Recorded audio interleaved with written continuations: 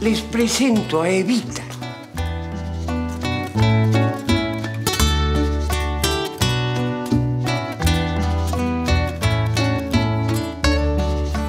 Abuelo, nosotros pensábamos que, que era una alucinación. Eh, sí, sí, sí, sí, tú sabes, este abuelo, ¿no? Este, Pero ya vieron que no se trataba de ninguna alucinación.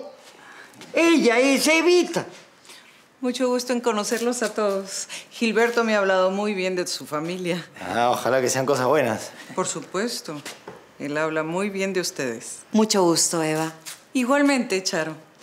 Y tú debes ser Teresa, su preciosa hija. ¿No es acaso una belleza? Es linda tu princesa. Así es, princesa. Yo soy la princesa de esta casa.